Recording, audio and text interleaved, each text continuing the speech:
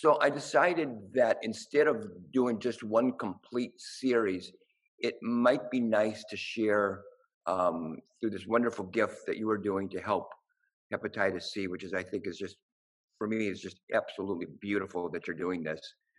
Um, I thought that um, it would be nice for the person who purchased my box to get just maybe just a little little taste, a little taste of who I am. You know, uh, and, and and and through this work, you could probably figure out some of the things that I was going through in my life,